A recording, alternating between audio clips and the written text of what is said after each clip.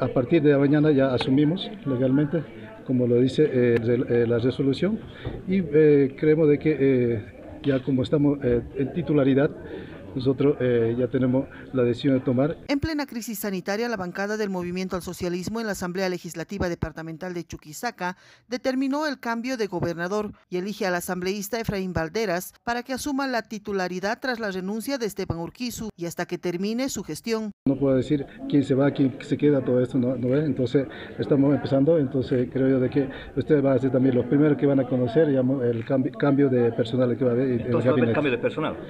Obvio que sí tiene que haber para mejorar. La nueva autoridad asumirá el mando desde mañana 1 de abril. Anuncia cambios de personal y mayor coordinación con el municipio y el gobierno central, además de gestiones internacionales para afrontar la pandemia del coronavirus que ya afecta a Chuquisaca. Hay que coordinar con los niveles eh, nacionales porque el tema de salud no tiene color político y nosotros nos ponemos camiseta de Chuquisaca para trabajar.